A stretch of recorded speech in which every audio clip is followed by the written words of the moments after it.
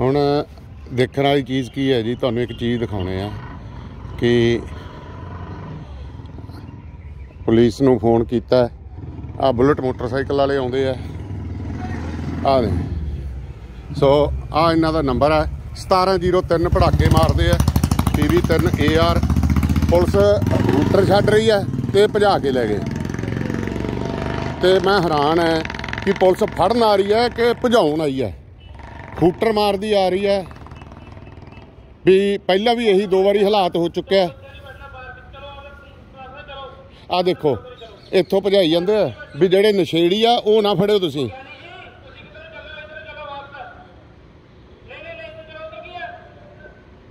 ਆ ਦੇਖੋ, ਮੈਂ ਹੈਰਾਨ ਆ ਇਹਨਾਂ ਤੋਂ ਇਸ ਗੱਲ ਤੋਂ ਕਿ ਇਹ ਬੰਦੇ ਫੜਨ ਆਏ ਆ ਕਿ ਭਜਾਉਣ ਆਏ ਆ।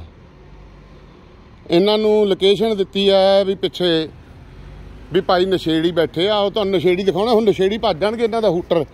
ਦੇਖੋ ਮੈਂ ਹੈਰਾਨ ਆ ਕਿ ਇਹ ਫੜਨ ਆਇਆ ਕਿ ਭਜਾਉਣ ਆਏ ਉਹ ਭੱਜ ਗਏ, ਦੇਖੋ। ਆ ਸਾਰੇ ਹਿੱਲ ਗਏ ਇੱਥੋਂ ਨਸ਼ੇੜੀ।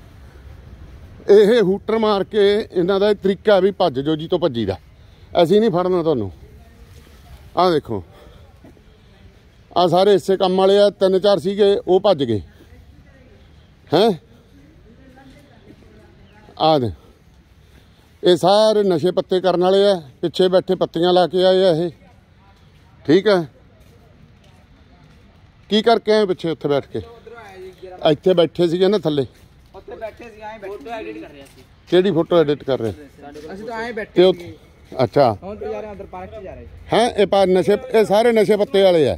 ਨਫੇ ਅਸੀਂ ਨਫੇ ਦੇ ਆ ਰਹੇ। ਸੀ ਤੇ ਤੁਸੀਂ ਬਾਈ ਹੂਟਰ ਮਾਰ ਕੇ ਭਜਾਉਣੇ ਕਿਉਂ ਹੁੰਦੇ ਯਾਰ? ਮੈਨੂੰ ਤਾਂ ਇੱਕ ਚੀਜ਼ ਸਮਝ ਨਹੀਂ ਆਉਂਦੀ। ਹੈ? ਹੈ?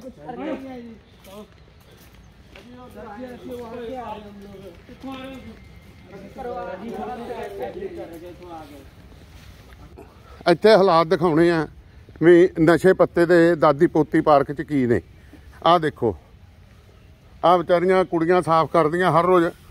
ਆਹ ਦੇਖੋ ਹਾਲਾਤ ਨੇ ਇਹ ਦਾਦੀ ਪੋਤੀ ਪਾਰਕ ਦੇ। ਆਹ ਦੇਖੋ।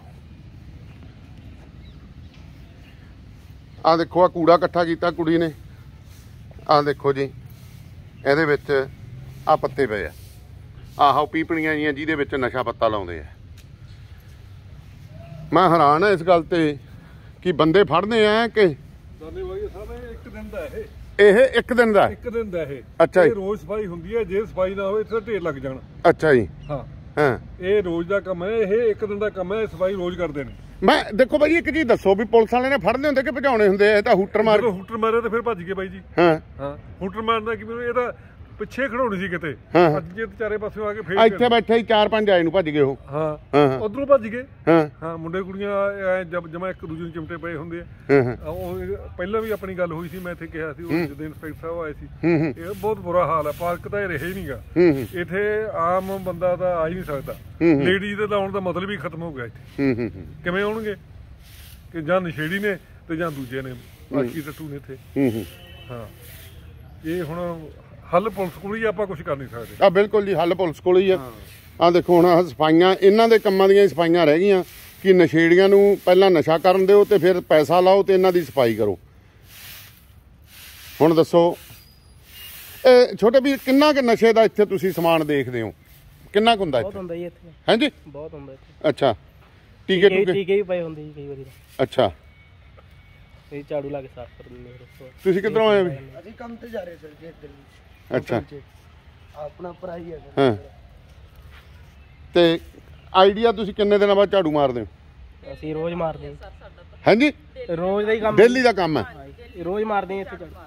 ਤੇ ਇਹ ਕਿੰਨਾ ਕੁ ਨਸ਼ਾ ਭੈਣੇ ਕਿੰਨਾ ਕੁ ਇੱਥੇ ਤੁਸੀਂ ਵੇਖ ਇੱਥੇ ਵੀਰ ਜੀ ਬਹੁਤ ਜ਼ਿਆਦਾ ਹੁੰਦਾ। ਪੁੜੀਆਂ ਹੁੰਦੀਆਂ ਟੀਕੇ ਹੁੰਦੇ ਆ ਬਹੁਤ ਕੁਝ ਹੁੰਦਾ। ਤੁਹਾਡੇ ਸਾਹਮਣੇ ਹੀ ਹੈ ਜਿਹੜਾ ਕੁਝ ਹੈ ਹਾਂ ਹਾਂ।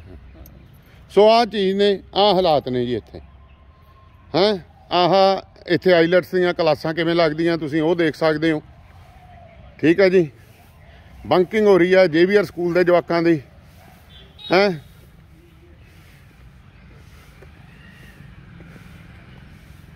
ਸੋ ਤੁਹਾਨੂੰ ਇਹ तमाम ਜਿਹੜੀਆਂ ਇਹ ਹਾਲਾਤ ਇੱਥੋਂ ਦੇ ਦਿਖਾ ਰਹੇ ਹਾਂ ਅਸੀਂ